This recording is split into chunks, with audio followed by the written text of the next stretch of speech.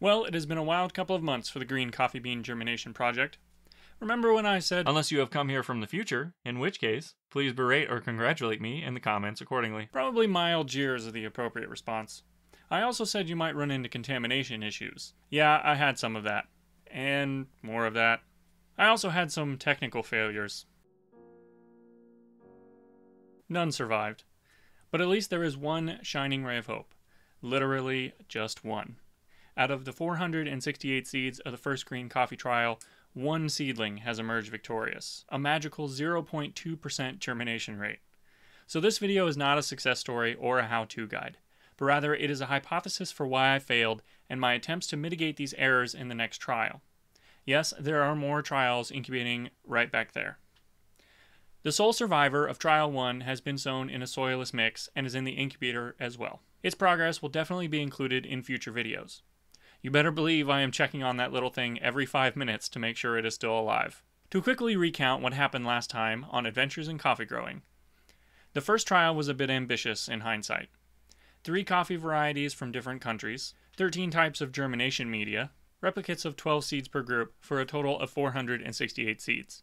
In less than five days, it was obvious that I had underestimated the microorganism load of commodity green coffee. Sowing three seeds per cell as I did reduces the likelihood that any one cell would be without a single germination, but that also means that if any of the three seeds was infected, the entire cell would be lost. In the future, unless you are sure of the disinfection of your seeds, only plant one seed per cell.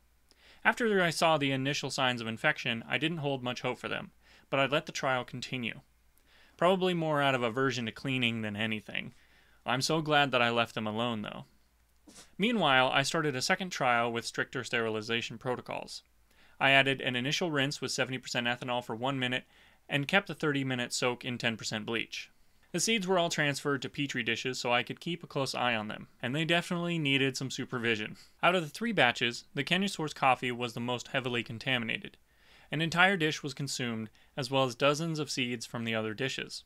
The Mexico and Guatemala source coffees had far fewer losses, but they were not entirely exempt. Note that these country names are just shorthand identifiers. I don't have any reason to suspect that this infection trend is directly related to the country of origin.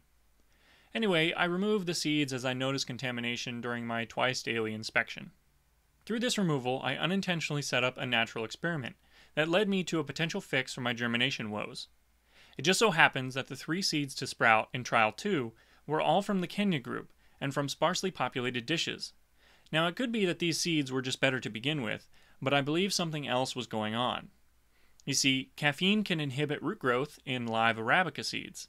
It's an autotoxic allelopathic chemical. In the lab, when coffee seeds are soaked in a dilute solution of caffeine, root growth is almost completely halted. Most published germination research doesn't even mention this effect.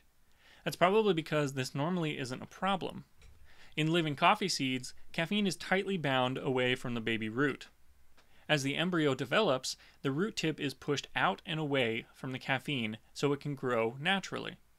Later, after the root is sufficiently large, the caffeine is released into the media, most likely to prevent other seeds from germinating and competing with it. I believe this same phenomenon is potentially the cause of my frustrating lack of germination. As I have been emphasizing, this is all in living coffee. Cell integrity in the non-living seeds, however, is weak enough to allow the caffeine to be released immediately, inhibiting any root growth in the surrounding area since most research is done on fresh seeds that remain intact. The few dead, leaky seeds do not exude enough caffeine to majorly inhibit the other's growth. Hence why this phenomenon is only mentioned in a few esoteric papers on this effect specifically, and not in the more general germination studies. In the case of my experiments starting from old commodity coffee, the sheer number of seeds that leak caffeine would have arrested any potential development in the others. This is especially true in trial number two, where 156 seeds per group were crammed into half pint jars for the 72 hour imbibition phase. That's like soaking the seeds in a really strong espresso shot for three days. After that, I crammed the seeds into fewer petri dishes than I should have because I didn't have enough. No wonder they didn't like it. When I happened to remove the infected seeds later, I was also removing some of the caffeine inhibition of those remaining. If I had spaced the seeds out more initially, perhaps I could have seen significantly more germination. it figures that my attempts to be all sciency with enough replications for statistical significance would ultimately be my downfall. Further evidence comes from trial number one, where the only seed to germinate was from an expanded clay aggregate group in the Guatemala source coffee. Filter paper, peat, coir, and all of the other media can wick moisture and along with it, caffeine. In contrast, leca does not transfer caffeine between seeds. And since it was a Guatemalan coffee seed that germinated, it is unlikely that the Kenyan coffee was simply more viable at the onset. Now, this is all rather sparse evidence and needs further testing, but I believe it is sufficient to warrant some germination protocol modification for our old green coffee specifically. Side note, it has been speculated that accumulating caffeine in the soil is the cause, at least in some part, of the noted degeneration of old coffee plantations after 10 to 25 years. The buildup of caffeine containing leaf litter and discarded fruit of the Arabica plants slowly inhibits new root growth, ultimately stopping coffee production. So, how do we fix this? Well, as with any allelopathic compounds, removing the offending chemical is the key.